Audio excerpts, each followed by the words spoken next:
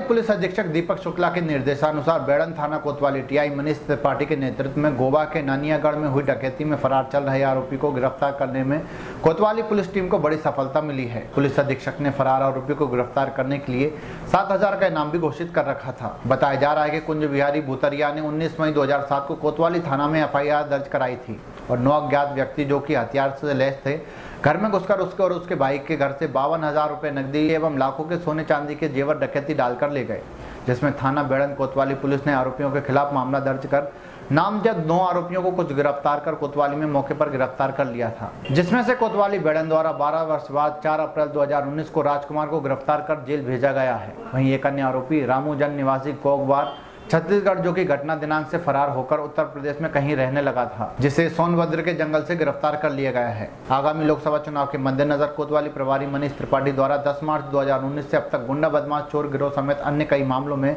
फरार स्थायी अट्ठाईस आरोपी वारंटियों को गिरफ़्तार किया गया है। उक्त कार्रवाई में एएसआई बालेंद्र शेखर मिश्रा, प्रधान आरक्षक डीएन सिंह, संतोष सिंह चंदेल, अरविंद चौबे, पिंटू राय, आरक्षक संजय परिहार, महेश पटेल, प्रवीण सिंह, महिला आरक्षक शकुंतला यादव की अहम भूमिका रही।